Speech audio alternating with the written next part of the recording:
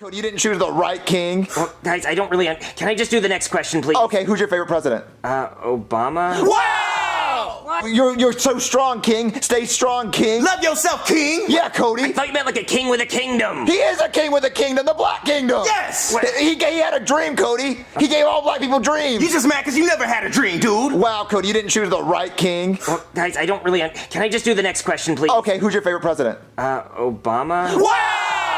History. What? My favorite king? Yeah, you know, like in Egypt, like King Tut. King James. Yeah, King Louis. Um, I mean, King Tut's pretty cool. Wow! What? You! I'm not even old enough to vote. Okay, Cody. During Halloween, what color cat is bad luck? Oh, come on. Answer it, Cody. He knows it's not a Persian cat. yeah, he knows it's not a white cat. You already know the answer to this. I don't. I forgot. Ah, tell me. I don't know the answer. Tell me, please.